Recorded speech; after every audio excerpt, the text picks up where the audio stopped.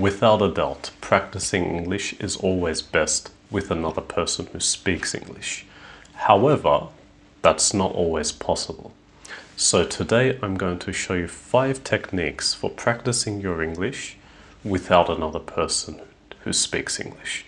So let's get started. First technique I have for you for today is describing things in your head.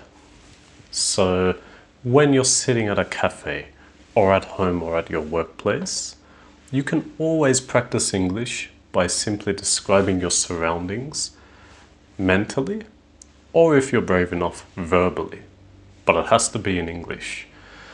The benefit of doing this is it practices your ability to think in English. Therefore, that leads to being able to be more fluent in English and faster in your sentence structure. So, an example of this could be simply when you're sitting in your bedroom. You could describe your bedroom. So, it has four walls, one door, the walls are white, there is one bed, one desk, and is it messy? Is it clean? You can start like this. It's very basic, but as you get better at this and faster and more accurate, you can take it up a notch.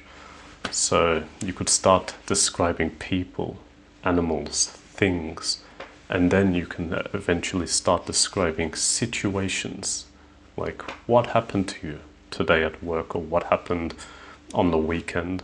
Technique two is shadowing. Shadowing is pretty much when you're listening to somebody else speaking English, you are following along at the same time, saying exactly what they are saying. So you are copying their words, you're copying their tone, you're copying their accent and pronunciation. This is very, very beneficial for enhancing your pronunciation. And if you're and if you want to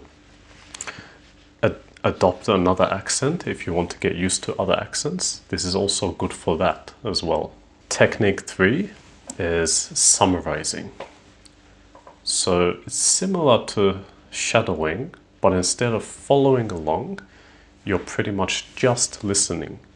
And once the person has finished speaking, you will either write down or even say what they have said. It doesn't have to be exact, but the main point here is being able to understand what people are saying.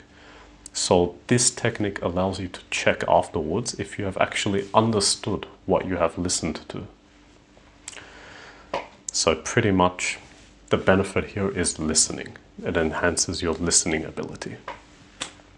Now technique four is of course reading. This one is important to keep fun.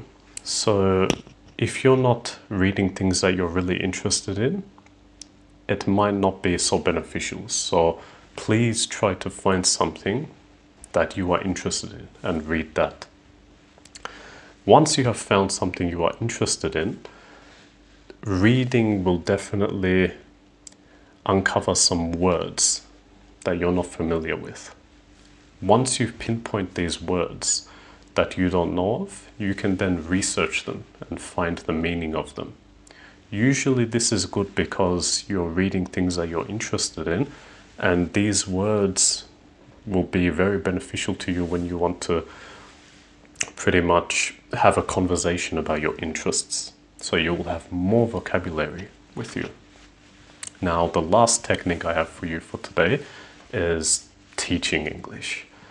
So it doesn't matter if you're an intermediate or beginner English learner, you can still teach what you know to somebody who doesn't know English. It could be a family member of yours or a friend. And pretty much you can start off with basic things like vocabulary, phrases, idioms. And once you see that another person is benefit, benefiting from your knowledge, you'll gain confidence so definitely the benefit of this technique is it will enhance your confidence in your English abilities. Thank you for listening to me today and see you next time.